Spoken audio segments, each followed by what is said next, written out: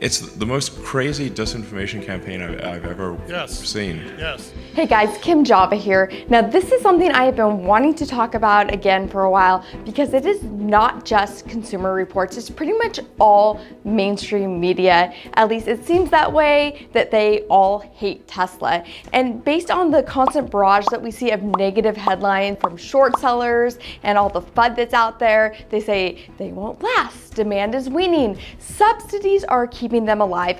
Elon is a snake oil salesman. I mean, we have heard it on and on and on. The car on autopilot using advanced technology. A big feature of the Tesla vehicle in question catching fire seemingly out of nowhere. Deadly crash involving a self driving car. Tesla has no advantage, no technological advantage, no software advantage, no battery advantage. I will be the first to admit that Tesla has dramatically grown over the past two years, and naturally that has led to exponential growth in its fan base as well. And with all that said, comes this sort of cult-like behavior um, with some of the people in the Tesla space, and I've even made a video about that, which got a lot of attention. Guy talks about liking non-Tesla. Guy gets schooled on why Tesla is better. Owner has a question, comment, concern with Tesla. Tesla fans disgrace owner publicly. Girl orders Ford Mach-E over Model Y. Tesla fans bash her for buying the wrong car. And if any other car makers make an EV, Tesla fans bash them too. And a lot of you guys actually had plenty to say about it. Some of it can be justified by the fact that Tesla has been attacked for so long and its fan base is just kind of naturally on the defense. So the title of this video calls out Consumer Reports since they are the most recent in the line of Tesla haters. And I don't know if you guys all caught this, but in their latest publication, Consumer Reports actually attacked Tesla's rollout of the full self-driving software, which if you don't know already, Tesla has pretty much gamified it for its owners on the app. So basically your daily driving behavior actually gives you a safety score now and tells Tesla who is the safest drivers and it will give you FSD or full self-driving beta based on how safe of a driver you are. So Consumer Reports argue that Tesla's safety scores could actually make the road less safe for all of us by incentivizing drivers to cheat the system to gain a higher rating. So for example, they said that their Model Y would constantly get dinged on its safety scores for hard braking, but as soon as they started coasting through intersections or failing to come to a complete stop, they were able to get a higher safety score. So they also said that gamification has a dark side to it, which has been proven by some researchers over at Ohio State University. So when teachers at that school added gamification to the classroom, the students ended up being more likely to cheat to win rewards. So some of you guys have actually said to me on Instagram that your safety score is just a percentage of your drive. So in this case, hard braking, you could in theory just go drive around a parking lot and gently brake to dilute the overall bad braking data. And others have actually reached out to me saying that there's even a way to hack the system to improve your safety score. If you find yourself triggering the car's sensors during a drive, you could just reboot the center screen with the scroll wheels um, and then put the car into park afterwards. And then all that data will not be saved into your driving history. Now, personally, I think that there is always going to be a way to cheat anything that you want bad enough in life. And I think it's just sort of part of human nature. So I'm not gonna say who is wrong or who is right in this video, but I will say that Elon himself has said that the system is still in beta calculation and safety scores should evolve over time to accurately predict reports and its bias.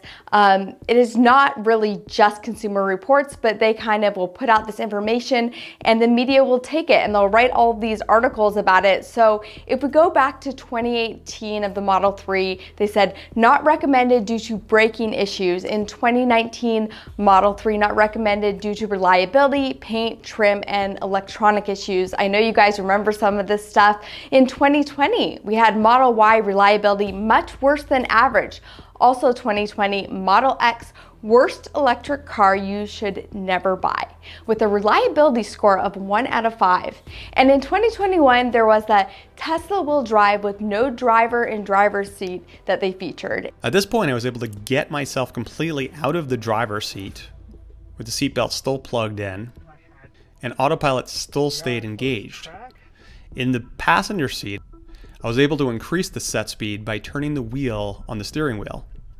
And at this point, it was completely driving on autopilot with no one in the driver's seat. Also in 2021, they had Tesla privacy concerns regarding interior front facing camera.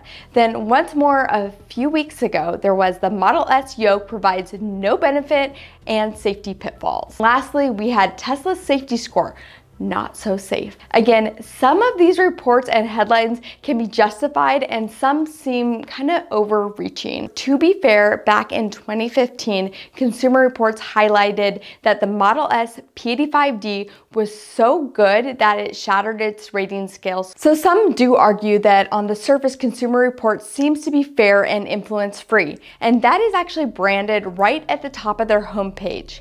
But when you dig a little bit deeper, you see that they are far from being solely supported by subscriptions, and there may be some influence since they're largely funded by donations as well. And you might be surprised to see who is at the top of their list.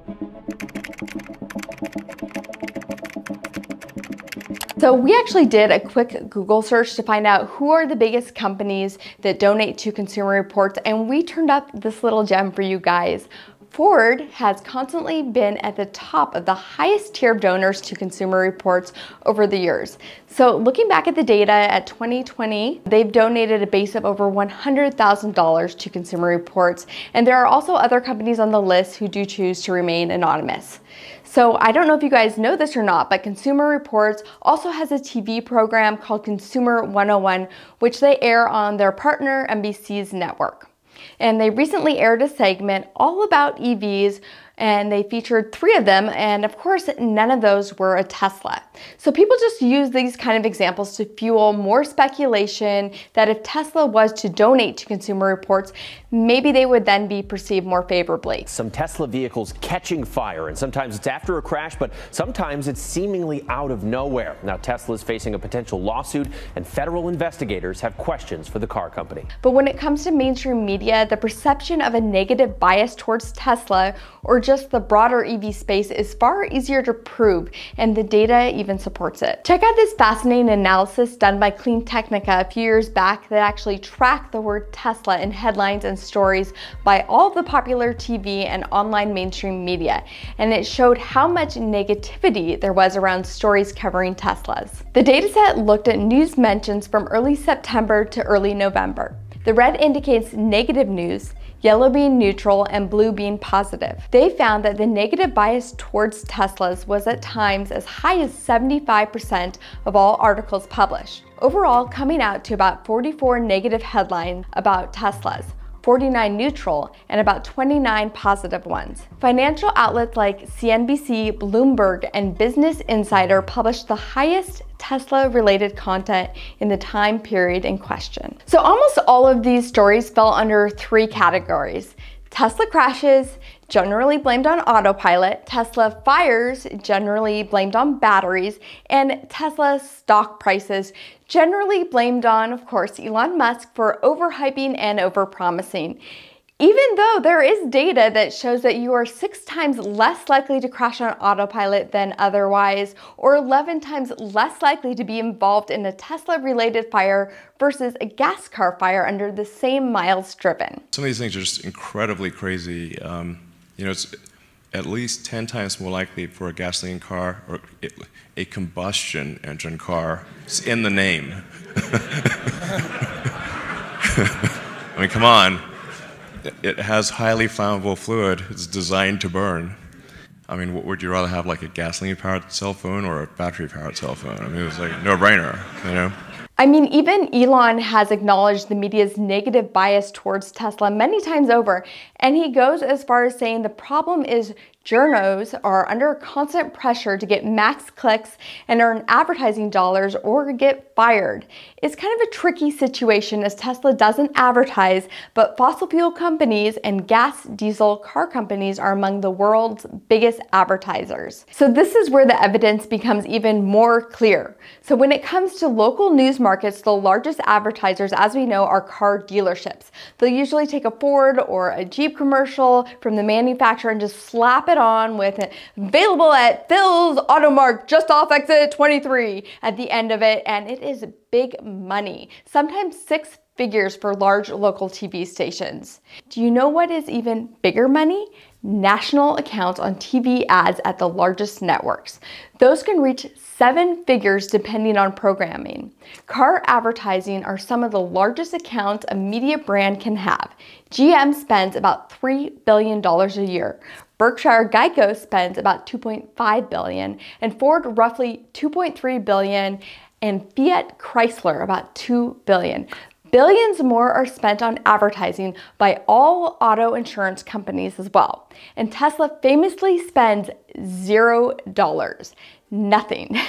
So I wanna hit this hard because if the extreme bull case is correct, then major programs on all network TV shows such as The Today Show on NBC, GMA on ABC, CBS This Morning, etc. will all lose significant amounts of money and sometimes even their entire shows if Ford, GM, Fiat Chrysler all die slowly, so will their advertising dollars. Not to mention the cascading effect ICE vehicle advertisements on the late night shows, on live sports, etc. Tesla's success without spending a dime on advertising is definitely getting the attention of TV executives as well. So Tesla in a lot of ways represents a slow end to potentially so many industries. Automotive, big oil, AI, the insurance, just to name a few of them. And those can easily cascade into the media world where they spend billions on advertising. And in some ways, they're being replaced with a company that spends zero. Again, this is a bull case scenario if everything goes as Tesla and its supporters hope over the coming years. But given Tesla's recent success, popularity among owners, and its exponential growth, there is no reason to think that things are going to be slowing down. So, there's a lot to think about here, and this kind of gives you the perspective of maybe why Tesla seems to always have a target on its back. Of course, Elon's personality, even though it's sometimes endearing or relatable, can also help fuel some of this. And he's so bold with his predictions and his goals about other planets, robotics, and self-driving as well. So I am curious about what your guys' take is on all of this, and I hope that you will share your ideas with me in the comments below. And if you get a minute and you enjoy the shirt that I am wearing, then you can go to our website, it's kimjava.com, and take a look at some of our Tesla inspired gear on there. Um, and thank you guys so much for watching this video. The biggest thank you that we can get is for you guys to be subscribed to this channel, like this video, and hit the bell for notifications. And thank you guys so much, and we will see you next time.